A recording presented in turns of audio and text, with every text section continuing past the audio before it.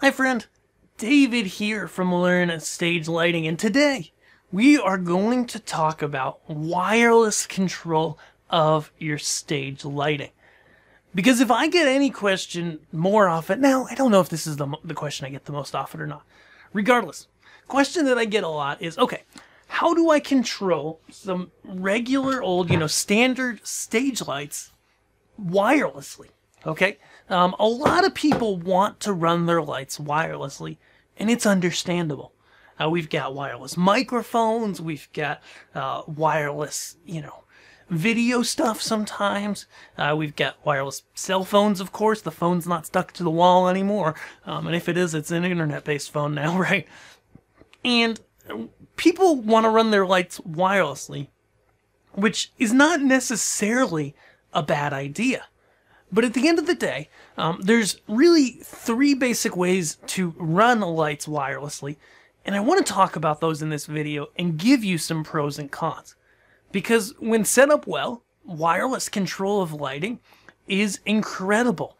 It is just such an awesome thing to be able to put a light out there to be able to control things wirelessly. But when set up poorly, or if there's a lot of congestion in the Wi Fi airwaves, uh, you can really have a lot of problems. Okay, so let's talk about the different ways to control things wirelessly, and we'll use the audio analogy a lot today. Um, so, if you're up for that, give this video a like, subscribe, and let's get going. The first thing most people think about when running lights wirelessly is wireless DMX. Okay, where you've got a light with an antenna on the back, probably or internally, and somewhere you know near your console, you've got a box that plugs into your console and shoots out that DMX wirelessly. Okay? Wireless DMX can be great. Now, my big caveat here is if it's a permanent installation, if this is a church you're installing or a venue or something like that, and the lights are being hung permanently or semi permanently, just run a wire. It's often easier and the same cost and more reliable than wireless. Okay? However, if you're doing something like, you know, putting out a bunch of uplights around a ballroom or moving things around a lot, then using wireless DMX can be a great way to get control of these things.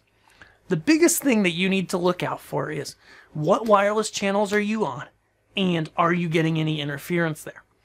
You can get on your phone or tablets a app that'll allow you to look through the wireless space, but ultimately, finding a good channel is um, often getting out of the 2.4 gigahertz wireless space. So when it comes to wireless DMX, you, you do have a couple options, and this applies to any of the three ways that we're talking about in this video. Okay, just as a brief overview, when you're talking about running wireless DMX, it's typically going to be in the 800 megahertz range, it could be in the 2.4 gigahertz range, or it could be in the 5.6 gigahertz range okay, which is not 5G, it's 5 gigahertz. And the difference between these three is that down in the 800, there's often a lot of free space, but the devices that speak in that range, you know, often are, um, you know, more expensive. Then we've got 2.4 gigahertz. This is commonly known as the Wi-Fi range, though it's only one of the two. And it has 12 available channels, but when you choose a channel, you're strongest on that channel weaker on the channels on either side, and you end up taking up about four channels. So that means that if you're in a space that has congested wireless, which is not necessarily a major metropolitan area, it could just be a venue that's just spouting out Wi-Fi on every possible channel and being a pain in the butt, you're going to have issues. Okay? Now, there are 14 channels. Um, 12 are available for Wi-Fi, and some wireless DMX systems um, do allow you to use channel 14 and that often is your most reliable. Okay, um, every area is going to be different. They'll even change over time. So grabbing an app that allows you to scan the Wi-Fi on your phone or tablet and finding the best channel is your best success with wireless DMX. 5.6 gigahertz on the other hand, uh, same deal where you take up your channel and a little bit on either side, but there's 36 channels instead of 12, so there's a lot more there. Okay, but ultimately, um, wireless DMX often isn't what you need. When we talk about running wireless DMX, it's not that we're taking a lighting console and sticking an antenna on the back, and being wireless. And it's not that we have a tablet that connects wireless directly to the lights. That's coming, and there are some systems that allow you to do that with basic control. But overall, that's not the popular way. So if you're looking, maybe you run lights for a party band or it's your church, but you want to be able to walk around, um, then you actually don't want wireless DMX. It's a separate issue. You may or may not use wireless DMX, but having wireless control is actually a separate thing. And there's two ways to make this happen. I said there's three things in this video. One was wireless DMX, two ways to get wireless control of your lighting console. Um, the first is to use something like the Light Shark. I like these guys a lot. It's made by WorkPro in Spain. Um, and the cool thing about the Light Sharks is they have a basic built-in Wi-Fi router. You know, it's kind of like the Behringer X32. I know that's a curse word to some people, where some of them have a Wi-Fi antenna in them.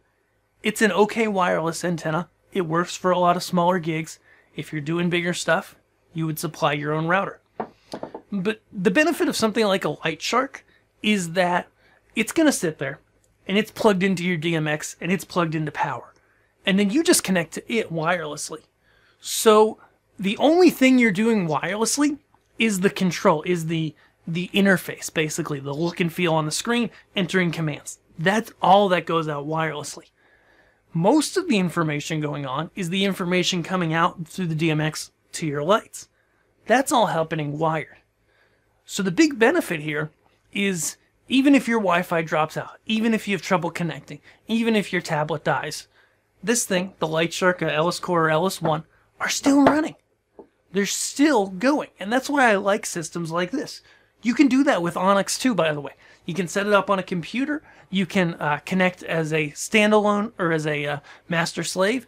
And, you know, you can have a second unit or touch OSC and control Onyx from afar, okay, over a Wi-Fi network.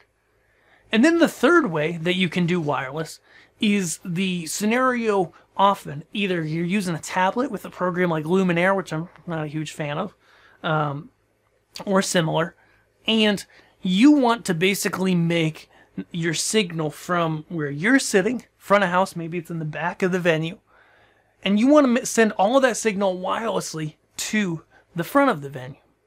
How do you do that? Well, wireless DMX is one option if you only have one universe. But if you have multiple uni universes of DMX, that's often not the best option. And we can set up SACN or ArtNet, though SACN's a little better for this, um, to go over a standard computer network.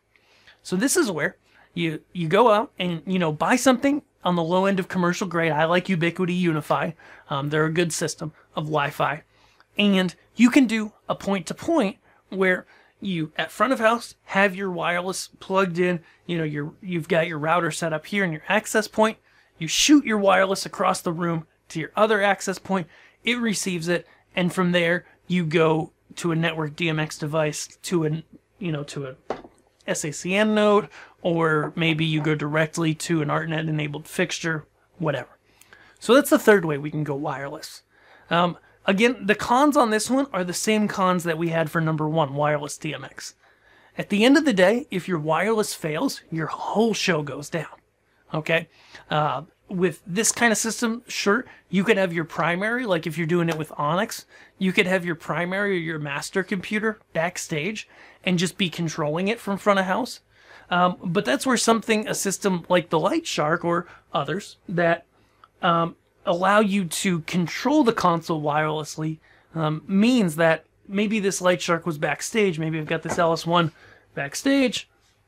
Maybe I've got the LS Core backstage. I control it from front of house over that long distance. If the signal would drop, I can run backstage, plug in my network, or just stand really close to it and probably get a good signal again and be able to run my show, maybe standing side stage or something like that. So those are three ways to run your lighting wirelessly, and it's an area where I see a lot of confusion. So hopefully this video helped make it more clear for you as you think about running lights wirelessly. What part of it is it that you're looking to run wireless? Let me know in the comments below and uh, give this video a like and a subscribe. And if you're brand new to lighting, you want to check out my free guide on getting started with lighting, you can go find it over at LearnStageLighting.com. We've got it here on the screen. Thanks so much, and we'll see you in our next video.